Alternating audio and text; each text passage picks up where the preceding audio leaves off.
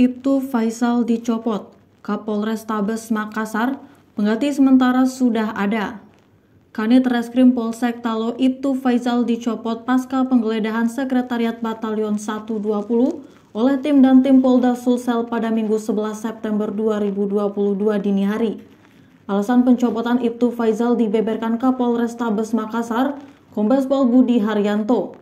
Dirinya menjelaskan Ibtu Faisal dicopot karena ketidakprofesionalan dirinya sebagai Kanit Reskrim Polsek Talo.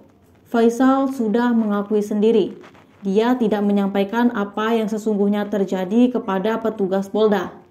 Ibtu Faisal diam, ikuti apa kata Polda. Padahal secara kepangkatan di Polda itu lebih rendah dari si Faisal. Itulah yang dikatakan Faisal tadi supaya tidak ada berita liar seperti Chef Ibtu Faisal lah, apalah segala macam. Jelasnya di acara ngobrol virtual tribuntimur.com pada Selasa 13 September 2022. Budi menambahkan Ibtu Faisal tidak berkompeten dalam menjalankan tugasnya. Laporan ini ia dapatkan juga dari Kapolsek Talo Kompol Badolahi.